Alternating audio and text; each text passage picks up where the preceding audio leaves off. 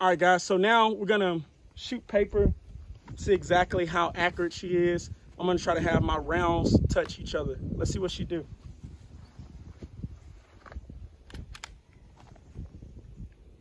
All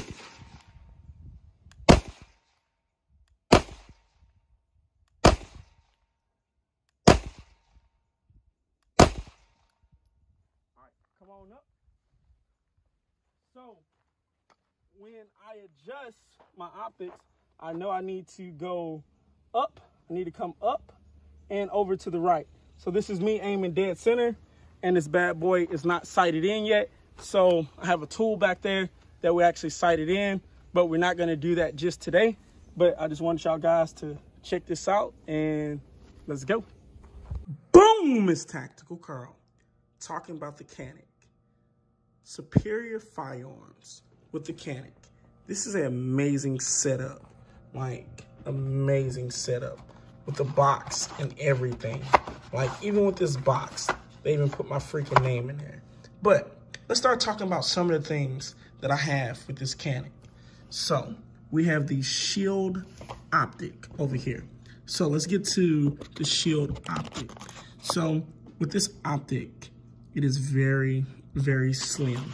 So I like slim optics on my firearm when I'm running them.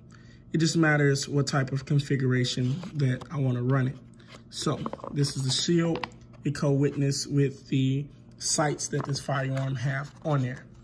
Um, I've used them in the past and they work really good.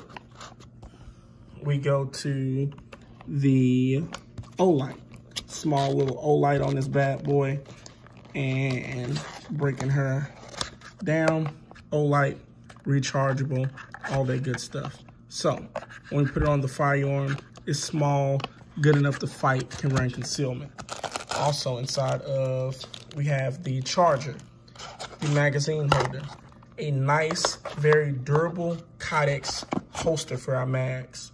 This holster here is designed for light, so I'm able to run my light, also my optics with the Kydex holster. We have multiple magazines that come in the configuration. We have our standard 18 round magazine and also our 20 round magazine. We have the regular punch, but one of my favorite things about this is, is the mini little Canik. Yes, this is a mini Canik. It is beautiful. So inside of the mini Canik, what we have to where we have the additional tools.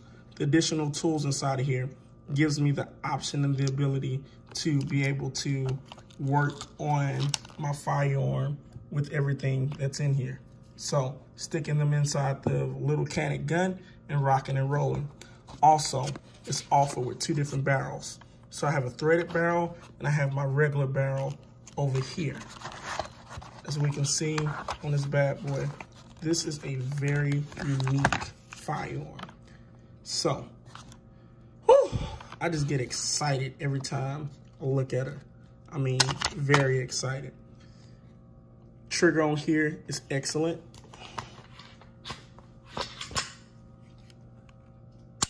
Mm. For the price of this gun, you're getting an amazing, amazing firearm. I say you check them out. It's Tactical Karl. Train like you fight, fight like you train. More videos of us shooting it will be coming.